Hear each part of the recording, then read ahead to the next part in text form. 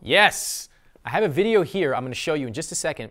I brought in one of my dream job elite students and we were doing a social skills teardown. I actually asked him that classic interview question Tell me a time where you went above and beyond the call of duty. he responded in a monotone, sort of dry, rambling story. You'll see it. It was just pretty boring. But I showed him how to improve that dramatically, how to kind of spice it up and make it much more impactful and emotional. You'll see the before and after in this video. Take a look.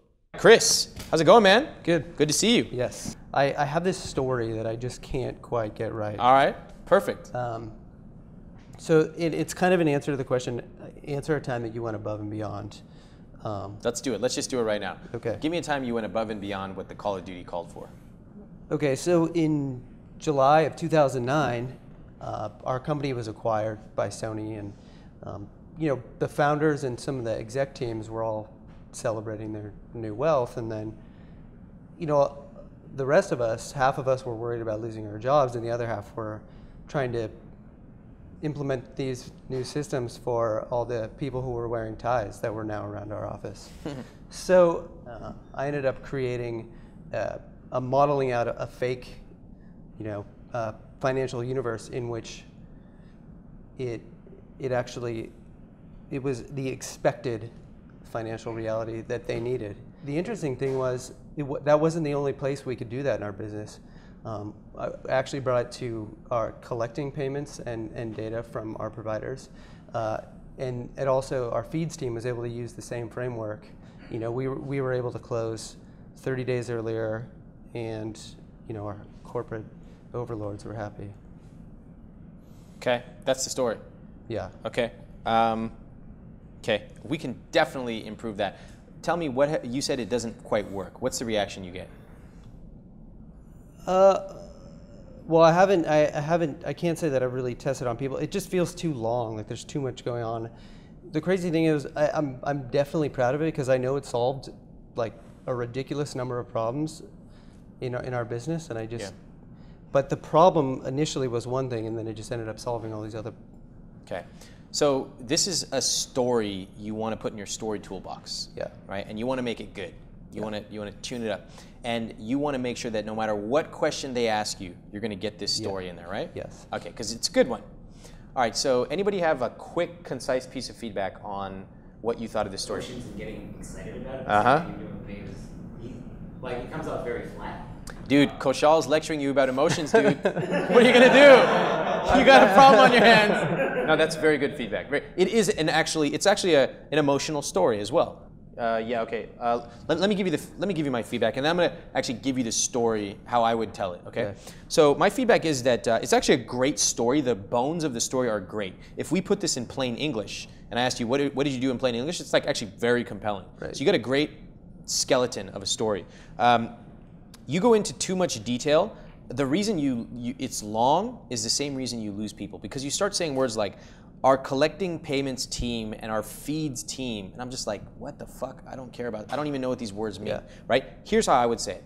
Uh, by the way, I actually thought that the uh, the like you, you, had some really funny comments in that for like a pretty dry guy. Uh, so you need to pump up your energy. I've told you this a hundred times. If you did that, it would come across as even funnier. But you said corporate overlords. That was really funny. And then the part at the beginning was really funny too about like they are off all these new guys with suits and we're just wondering like do we still have our jobs? Yeah. That's like pretty funny actually. Yeah. You need to like smile a little bit, even a wry smile. Okay. Force yourself to smile because then I'm gonna be like shit, this is pretty funny. Right now I'm like, is this guy like bitter or is he funny? Yeah. well, no. I, so yeah, I, I, only I hang out with the same people I have for the last 15 years, so they all think I'm hilarious. So, so okay. Okay, got it. Okay, this is why a lot of married people are not funny, right? Because their partner's like, "You're so funny," but you're actually they're they're actually not funny. Yeah. You're funny, but it's but for an outsider, you need to just like make let give me permission to think it's funny. Okay. All right. So this is what I would do. I'd be like this. I'd be like, um, you know, my last company, uh, we were actually acquired in 2009, and uh, so all of a sudden, you can imagine what happens. We have the executives who basically have just made a ton of money and they're off yachting around or whatever they do. And now we have a lot of people who come into the office, we've never seen them before, and they're just wandering around in suits and making these crazy demands. So the first thing they told us, by the way, my team, we're still wondering like, are we still gonna have our jobs? Are we not? They come in and they're like, um, we need to get this data now. And the thing was, usually it took us 90 days to close this data, but they wanted to close the report way earlier. So we're like, okay. And then they just left. These suits left, and we had to figure out how to do it. So, you know, not having really any managers to help guide me, I had to figure this out. And so I went and I actually created a model. And I just modeled out a fake universe where um, I showed what I expected the data to be. Well, the funny thing was, um, that actually turned out to be 5% within the exact numbers that, the, that they ended up being the case. So like if I predicted 100, it actually turned out to be 95. And it was great. Well, people looked at that and my managers looked at it after I did it and they're like, wow, this is actually pretty useful. It was actually predictive. So they then took that and they took it to this team and that team and then a third team.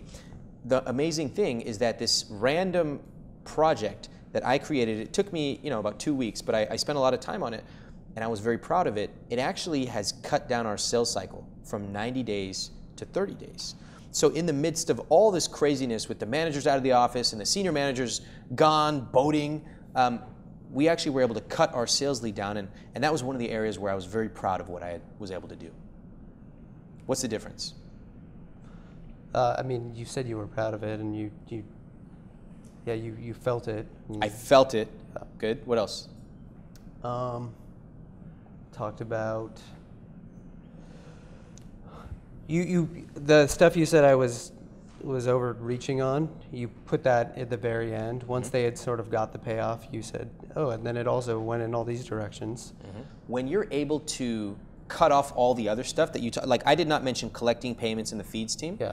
When you're able to eliminate the non-essentials, you can spend a lot more time. So ironically, you actually factually had more details, but mine were more important details, right? So because I could spend more time elucidating that stuff. What else? Good, good point. Yeah.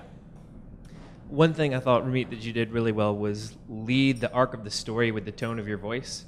So you had everything that was at the beginning and the setup, kind of like, okay, this is what it was like until one day, da da da da da da. da. And that I think is something that you could bring more to the front with uh, vocal variety. Chris, can you give me a vocal variety right now? Let's do um, one about, uh, uh, you know, I, I went to this place in San Francisco and it was totally not what I expected and I was surprised. Just say that back to me and, and use emotions in your voice. That exact.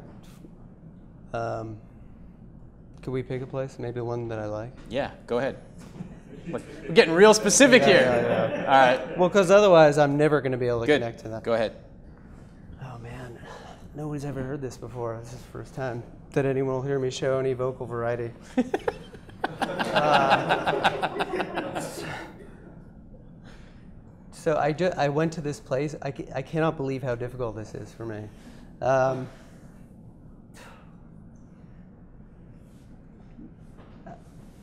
I went. Oh my god. Go ahead. It's all right.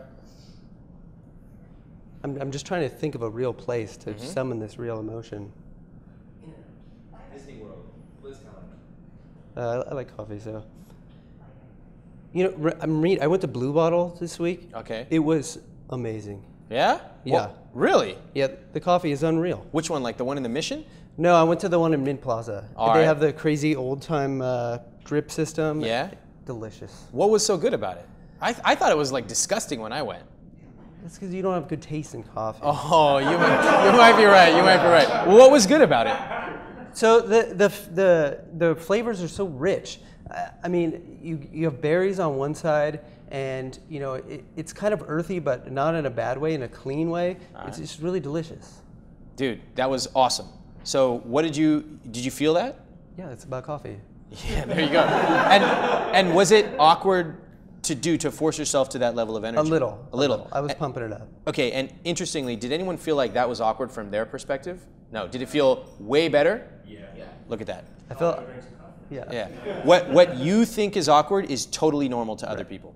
Got it? Yeah. Okay, so awesome job. Um, the, the key insights I'll share from the storytelling is, again, when you're able to strip out the non-essentials, and then you're able to spend more time on the details. And whether or not you include more facts, it feels like there's greater data, uh, greater stories. It's more compelling, and using vocal tones for you will be a huge, huge win. Right. So leaning in, using your hands, uh, you know, leaning back and being like, you would not believe what they said. You could do that, and uh, your stories will be that much more compelling for it. All right. All right. All right. Thank you for coming up. Yeah. Thank-